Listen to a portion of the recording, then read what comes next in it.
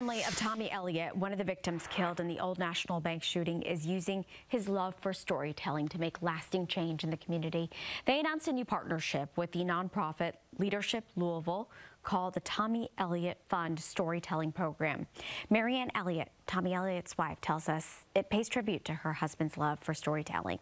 They're looking to accept seven nonprofits who will share their story and have a chance to receive a grant through their new partnership. The community went through a very dark time.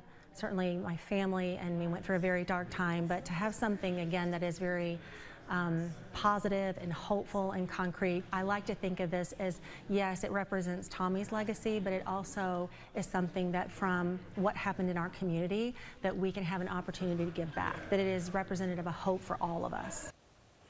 And she tells us that they're hoping to continue this annually. Nonprofits of any size can apply for a grant on TommyElliottFund.com. The deadline to apply is September 1st.